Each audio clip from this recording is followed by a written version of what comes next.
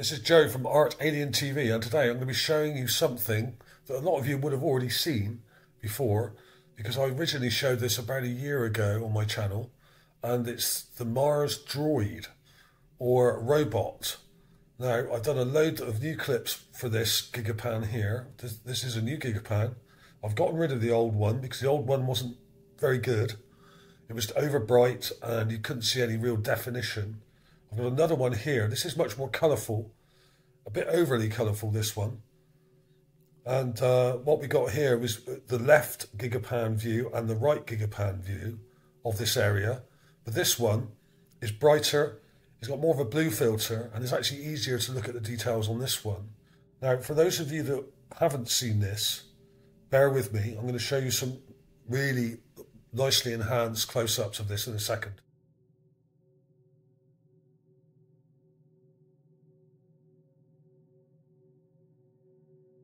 Here it is. And you can see this thing is not just a rock because we have this weird part going right through it here. We've got overlapping parts. We have an eye, a nose, and teeth here, cheekbone here. I'm calling it a cheekbone, but it's not really because this isn't what you might call an actual cranium of a person, right? Even though it's shaped like one, this is a droid. Because when you enhance the contrast, like I've done here very carefully, and I've sharpened it very carefully, this took quite a lot of work initially. I did this about a year ago. So what I did with it is I enlarged it, I sharpened it quite a lot, softened it, brightened it up, darkened it, and I played around with it until I got to this level of enhancement here.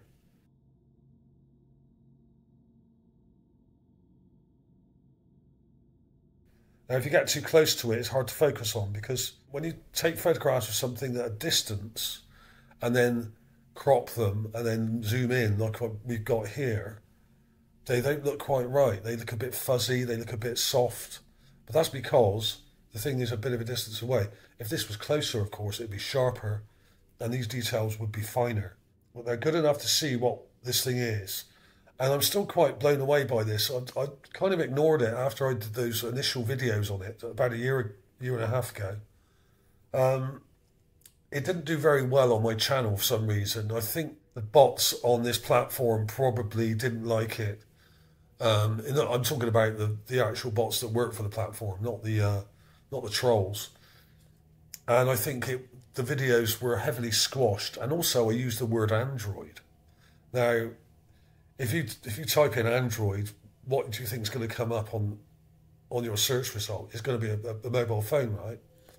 So I think maybe I got some of the wording wrong in it, and that's one of the reasons why it didn't do very well. So I'm trying to rectify that now. Now I've got here some nice clips of it, which I've redone and I've remastered them. I've sharpened them up, I've brightened them up, I've desaturated the color a bit because these colours go really pukey if you overdo it. When you darken these things, the, the browns get really sickly. They go sort of red, nasty kind of rusty brown colour. And you've got to desaturate these images when you when you darken them. You have to darken them. Because if I show you down here, this is what the raw image actually looks like here. I'll zoom into that, just there, look. That's the raw image of it. From the Mast left view, right? and you can't really see anything. They're totally bleached out. I think it's because they're quite high quality. They don't really want people to see too much detail. And if you bleach the images out and make them really bright, people look at them and just dismiss them and don't bother actually enhancing them and look at them properly like we're doing today. Now, these are the original clips I did for the first video, or the second video I did of this. And I've got here one of the, the actual covers now, in this image, it's still too bright. But I did an over sharpened, over contrasted clip of it here. This one here is better. And uh, you can actually see the details pretty well in this one.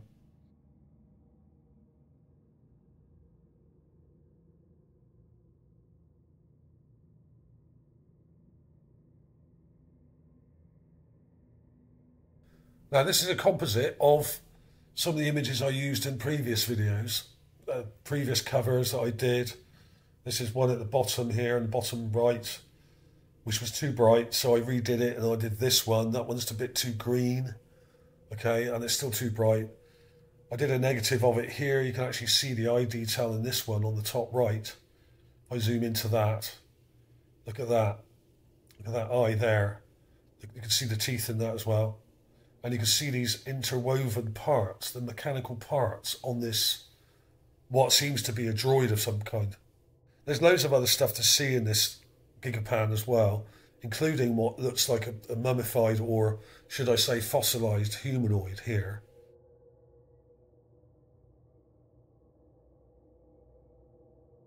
Not a human, but a humanoid. There's an outline of it. I mean, I've, i did cover a lot of this stuff in the previous video, and if you want to check that out and you're new to this channel, you, with all these gigapans, I always link to the original videos like this one here. Can follow this link here. There's also links in the description here for this pan, where you can link to the, the original video, the newer one, and then there will be a link to this one, obviously. There's loads of stuff to see here. Now, I don't want to get bogged down in showing you everything that's on this because it would take all day, and I'm trying to keep this fairly short. Okay, but there is a skull right here, and I've got a clip of that I'm going to show you in a second. Just here, you can see the mouth, nose, two eyes. It's not very clear, but when you see the enhancement I got up here, you might think differently. And this was done by Rami Bar Ilan, who's a great researcher and one of the best in the world, I would say, especially due to the quality of his, his meme clips like this. This is one of his clips here.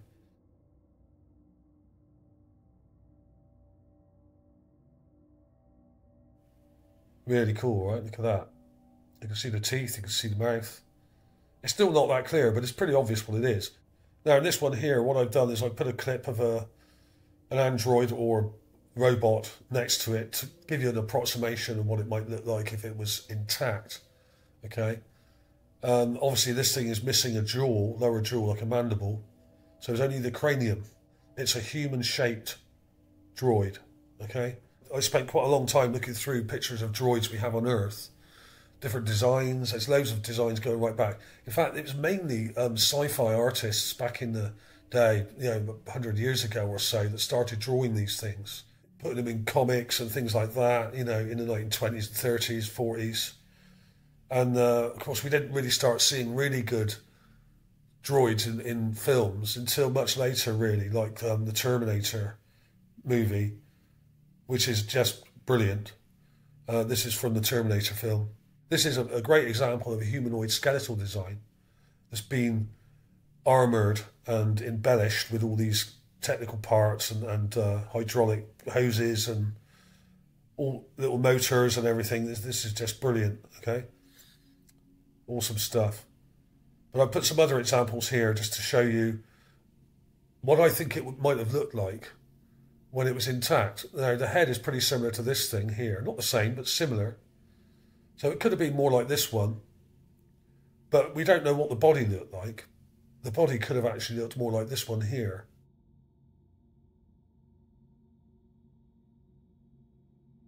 If there's a cranium of a droid here, or robot, wouldn't there be other parts of it nearby? Now, I've been having another look at this thing here. Now, this may look like a rock, but I don't think it's just a plain rock.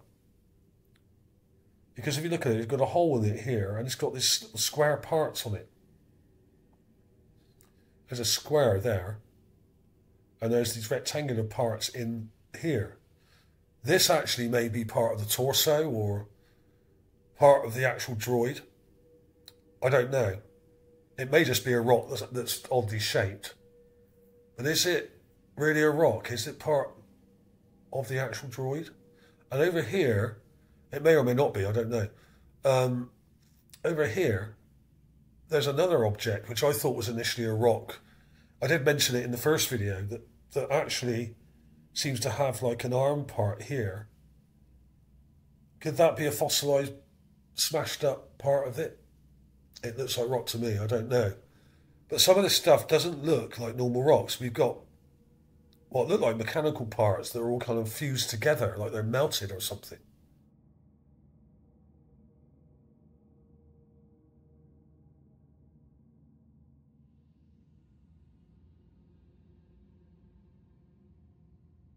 It's probably about 50 feet away.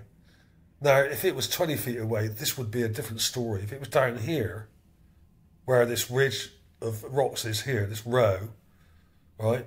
If it was down here, we would see a lot more detail. It'd be much sharper.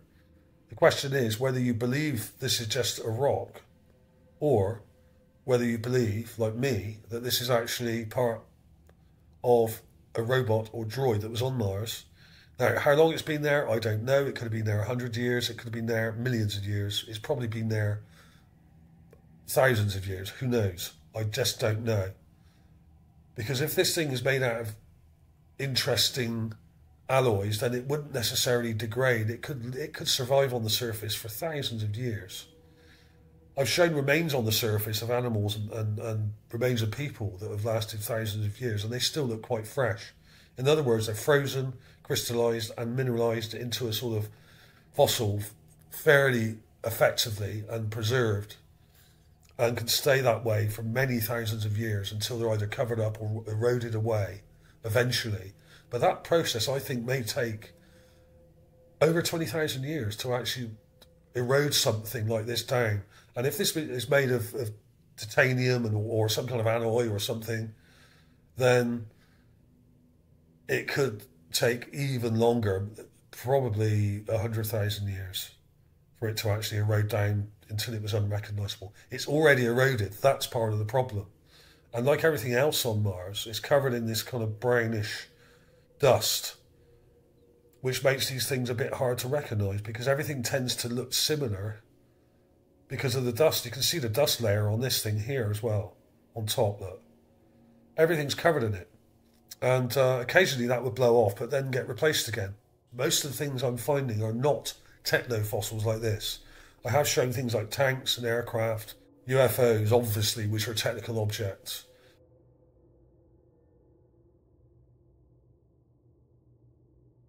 some of the UFOs obviously are flying around, so there's still something going on on the surface. And if you look at the, the flying V drone or aircraft that I showed,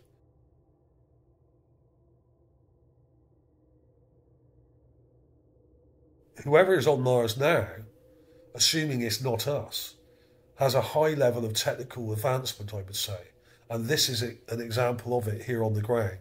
And that flying V drone is an example of it in the air and it may well have been built by the same people that built this. And that says to me that there was a, a, highly advanced culture on Mars, which probably left Mars and came here. There are great similarities between some of the things we see on Earth and some of the things we see on Mars, like some of the buildings, some of the structures.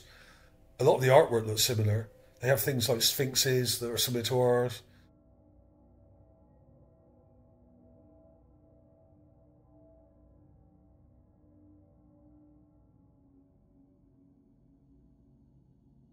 gods and goddesses that I've shown in statues are very different, but some of them look very similar to ours. The point is, what I'm trying to get across here, many of my videos contain things like statues and figurines and wrecked buildings on the ground, which look pretty primitive or old. They do look similar to a lot of the things we have in our ancient cultures. But this is different. This is a techno fossil. This is in a different category altogether. This isn't some sort of thing you might see in ancient Egypt or ancient Greece. This is just wreckage, remnants of warfare, I would say. Now, we often have these blocks with and buildings which are really old, like this one here, the one with the glyphs on it. I mean, that's the sort of thing you might see in ancient Egypt or ancient Greece. Very similar, right?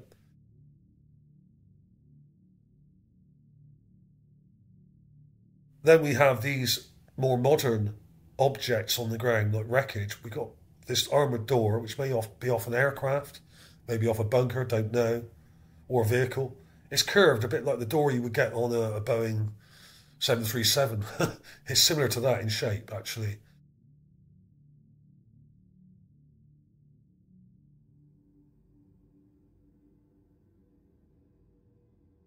It's not a normal door, that's for sure. We have a mixture of ancient and more advanced stuff on the surface. So we've got droids, we've got remains, we've got statues which are ancient. Some of these are many thousands of years old something maybe half a million years old or more.